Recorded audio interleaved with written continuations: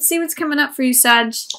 We open the month with five of coins, so there may be something that you feel like you're recovering from in terms of a financial loss, or it could be an emotional loss. Something of value usually is we're feeling like a loss of something that we really valued when it's five of coins. And the, the message of this card is to focus on the spiritual world, to focus on the lessons that it brought us, rather than our current external physical situations because that can make us feel very left out in the cold, very isolated, very this is kind of can be a poor me kind of card. But the focus of this is that there's always nurturing and care available. There's always this glowing inner spiritual light if we can manage to focus on it. So Five of Coins is really a card of choice of focus, um, focusing on our internal spiritual world, our connection with everything that's always constant, regardless of what losses we may experience in the physical world. So let's see what else is coming up with that. Interesting. And this is this is the card of the home, the Four of Wands, stability, security. So there may be something that you feel like you've lost something regarding the home. Some of you may have lost a home where you had to move out of somewhere or there was a sale of a home or that you some there may be a loss regarding the home at the opening of um March and it may, you know, for some of you if you are changing jobs, it may be that you're changing to a different job and you're having to move out of your, you know, favorite home that you've lived in for a while. There's something to do with the completion and maybe feeling like you've lost something valuable, but there's also very sweet energy here. Six of Cups. This has to do with reunion um, from someone with someone from your past. Feeling childlike. Both of these are very sweet, stable, secure cards. So it may be that you're experiencing some sort of loss, Sag, but that there's all this support for you. This is stability and security. This is people that you know from the past, someone that you can trust, someone that you can laugh and feel childlike with and be innocent and share heart energy with. So, regardless of if you're feeling left out in the cold in some way or you're experiencing some loss, whether it be financial or emotional, something here in the physical realm, you do still show that you have a lot of nice support and security regardless both emotionally and in terms of the castle. So it's saying to me that you know if you are having to move out of somewhere there's going to be somewhere else that feels like home to you. And this too can be a surprise. Four of wands can be surprise festivity uh, energy. So even if you know I, I know this is cliche but what these two cards say together is if one door closes another one opens you might be surprised with someone showing up from your past who is there to comfort you. Or you may um, renew a childhood friendship or relationship that brings you security even in your time of need. So that's going on for you, Sag, at the beginning of March. Yeah, there's there's something that you're completing. There's a chapter that's closing. There's you can see in both of these cards there is some sort of wounding or hardship. You know, it's like I can't do this anymore. You know, I've, I've lost too much. This can be a, a poverty card, so it can feel like I just really am hitting rock bottom here. But with these cards in the center of this, it's saying that you have the resources and the support. These are yellow cards. These are optimistic. These are like, you know, sharing your heart, wearing your heart on your sleeve and sharing it with a good friend in the safety comfort and stability of the home. So they're saying that, you know, these these are here to support you. This is supportive energy for whatever you might be going through, Sag, here in, in terms of letting something go, feeling lost or bereft or left out in the cold or in in financial poverty. It's just saying like I don't want to do this anymore. I don't want to think this way anymore. I've come to the end because 10 Ten of Swords is the end of a cycle. It's the end of a certain way of thinking. And I really get that your home network or friends, especially people you know from the past or long-term friendships or relationships, can really help nurture you through that, Sag. I've got Empress. This card saying lack of abundance with Five of Coins. There's something to say about you may be feeling some sort of financial loss and it may take you time to look at it from a different perspective. Um, you may have to adjust your perspective. Again, I'm seeing with the way that these wands are lining up, you may have to change your way of looking at things so that you change your way of acting um, so that you can allow this in. Empress is about abundance, satisfaction, everything growing around her, everything being nurtured. Um, and hangman means doing things your own unique way. When hangman's in reverse, it's worrying too much about what other people think.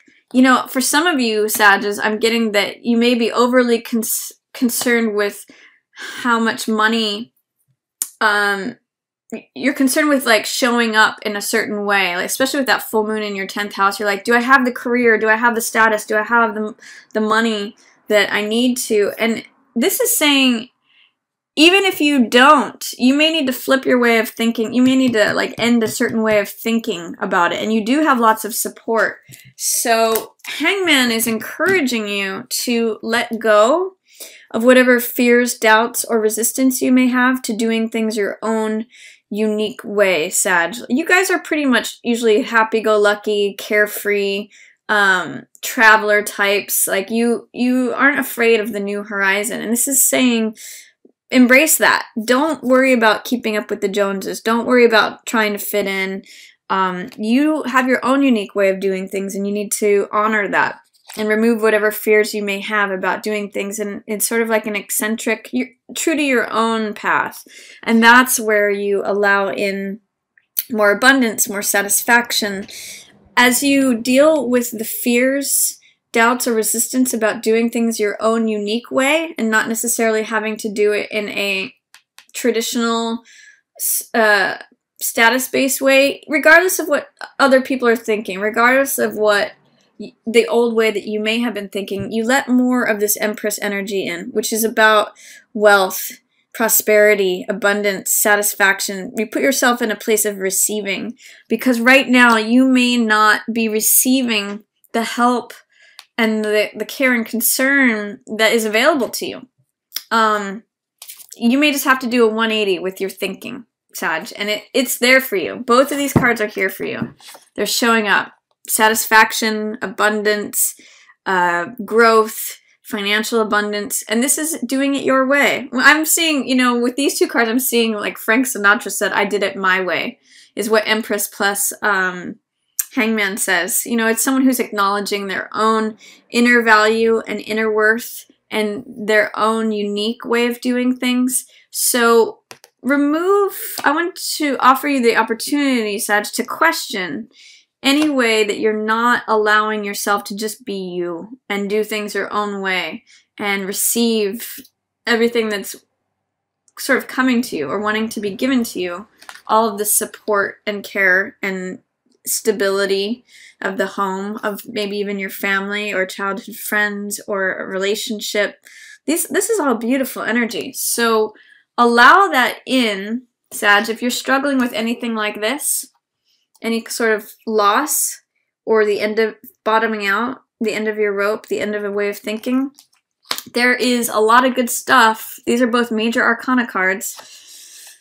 You know, all the abundance in the world, complete satisfaction, receiving everything you want. And Hangman, you know, seeing things from a different perspective, being enlightened, even finding comfort even in discomfort, these are here available for you. You may just have to remove any doubts, fears, or resistance to letting those in. And then middle of the month, another major arcana, death in reverse. This usually has to do with fear of letting go of something. Whenever I see death in reverse, I think of that Buddhist saying that says let go or be dragged. So death in reverse is really saying that there are some fears, doubts, or resistance to Letting go of an old way of being also speaks to this card, Ten of Swords, and trusting in the fact that there's new life. When we cut the rose, there's new seeds that can be planted that bring new life, but you have to cut the rose and harvest those seeds in order to make that transformation from life how it was before to life how it's going to be. So there, the middle of the month may be a big time for you to let go of things from the past to honor your own way of doing things seeing things from a different perspective and allow the bounty and the abundance of life that is wanting to come to you. But there, because these are all in reverse, there is some work to be done in terms of addressing, confronting, and removing any fear, doubt, or resistance you have to this. So there may, you may have a fear of, say, branching out and doing your own business that you know is going to be very profitable because of an old way of being and saying, oh, I can't do it. But if you look at it, all of those are available. It's saying change is here. Look at it from a different perspective. Do it your own way and be the one who is receiving it all, whose life is growing and, and is full and fertile and abundant. So Sag, I see a lot of opportunity here, but it's going to take some inner work to remove whatever blockages. You are ready to move on from something that could relate to your full moon in the 10th house of career. This card is showing up right around this new moon in Pisces in your fourth house. So this could be you moving to a new home. This shows Eight of Cups moving on from something that we have put a lot of our heart energy into. And it could be that you've worked at the same company for a long time and you're afraid of branching off, you know, doing it your own way, leaving something that has always been, letting go of that rose, and, you know, maybe potentially receiving the financial abundance. Um, this tells me that you're ready to move on from something, Sag. March 17th. Plant a new seed. Explore new lands. It's a really good time to do that. Um, because you're done with the old way. You might be fearful about letting it go, is what Death in Reverse says to me. But you are ready to, this is a completion and this is ready to move on to the next cycle. So let's see what else is going on. Two of Swords in Reverse, fear of making a decision. Six of Swords, this is recovery and healing. I'm really glad to see this after this. As you can see, these are swords cards, Sag, which has to do with our thinking, ideas, beliefs, knowledge, wisdom, understanding. This means I can no longer do it this way. This is uh, an old thought pattern that is no no longer serving you. Six of Swords means healing and recovery from that. It means new new ways of thinking. It means going from a charged, difficult situation to new land, to ter new territory. Actually echoes this card as well. Um, this card kind of says your heart's not in it anymore, whatever you're moving on from. But I'm seeing that there's something, this Two of Swords is a decision that needs to be made that you're having a hard time making. There's something that needs to be moved on from that feels difficult. This card says, I don't know whether to go left or to go right. Therefore, I'm going to check out. I don't know whether to follow this sword or this sword, this idea or that idea. Therefore, I'm not going to deal with it. I'm just going to be stagnant. But this card says, you know what? I am willing to look for new, smoother horizons. I am willing to move on. I'm actually willing to receive help or give help or help myself. So four of four, I mean, sorry, six of swords has to do with moving on to uh, new horizons, I'm really getting echoes of this card, and you Sages know how to do that. Again, exploring new horizons, horizons comes naturally to you. So look at mid-month. If you're ready to move on from something, even if you're having a hard time making a decision, it can really provide you with a lot of healing and recovery and going from what feels like chaos to something that feels calm and serene. New lands, new territory. And let's see what's going on at the end of the month, Sag. Financial abundance viva la difference between these two cards, right? Financial poverty, feeling left out in the cold, and this is feeling warm and content inside, secure. It's feeling, you know, 10 of coins is the most amount of coins on a card there is. This is the inheritance card. This is the windfall of money. It's like the pot of gold at the end of the rainbow. I often think of that with this card. It's financial abundance. So once you heal, you once you confront this decision that you're having a hard time making and actually move on from something that is no longer serving you, you know, that you need to release old ways of thinking about Sag, you actually put yourself in a place where you heal and recover from something. For some of you, this may be releasing addictions even. That can be this bottoming out card. You're healing, recovering, even if you don't know which way to go. And it actually brings you to a place of security, financial abundance.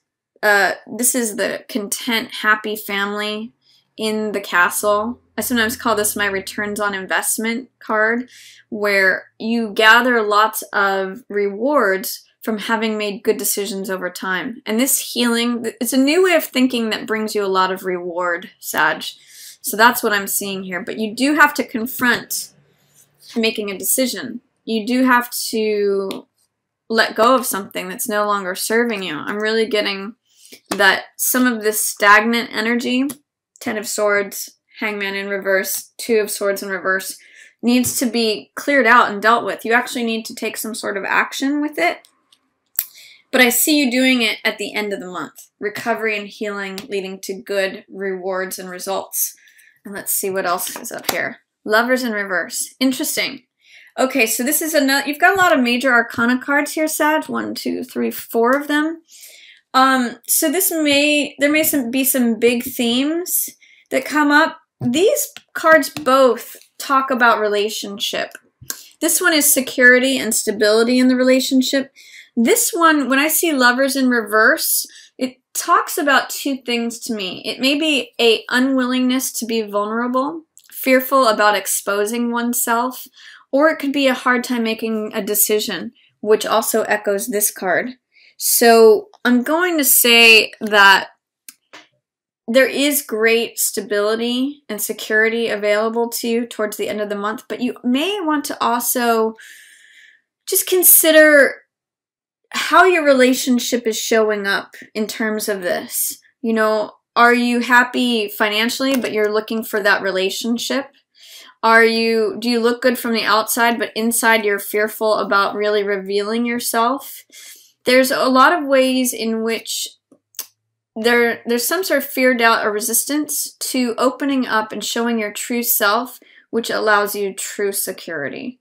So those are going to be some themes. I see a lot of recovery available to you, Sag, in March, especially as you address outmoded ways of thinking or flipping your perspective, letting go of something that's no longer serving you and moving on from it. And as you make that decision, as you confront your fears about making a decision, you actually take yourself on this nice journey away from a chaotic space to a more uh, serene place where there's a lot more um, peace and harmony and security. And it allows you to kind of go deeper into showing yourself more truly in a more authentic way. So I see a lot of progression here in March, but there's a lot of stuff, major stuff to open up and look at so that you can turn around certain ways of thinking that will allow you to move on.